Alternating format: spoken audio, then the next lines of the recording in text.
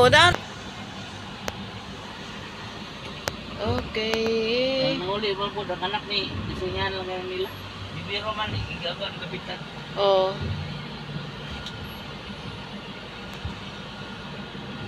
One, two, hit, happy.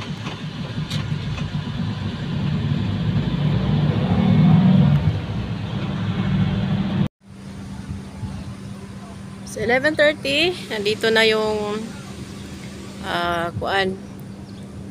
Sinasakyan nila ni sir.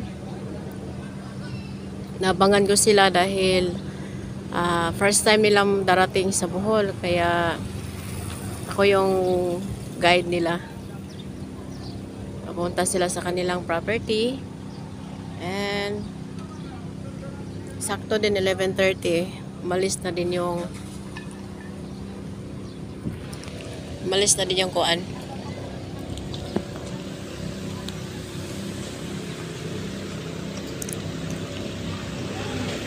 barko ang dami nagbiyahe ngayon dahil ah, summer na kasi from Cordoba, from Perono, then yung paali, mga isla-isla.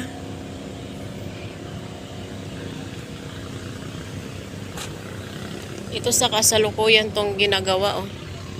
Ito to banda sa pier. Parang ito na yata yung bridge going to Cebu. O yun na, umalis na yun si barko.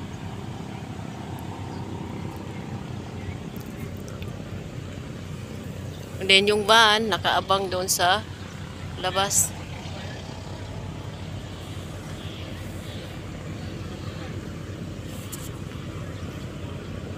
Maganda kasi itong Ocean Jet na sakyan dahil pag oras-oras talaga siya. Wala on time ito siya kaya mabilis. Kung may appointment ka, makarating ka agad. Ayun. Salubungin ko muna sila doon. Ganon pa rin ngayon dito, bawal ang mga chicharon. Meat from Cebu.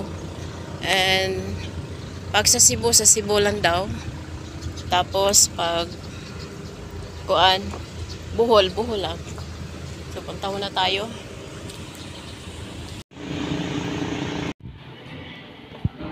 Check in muna sila. umbrella mo. Ano yung ginagawa doon?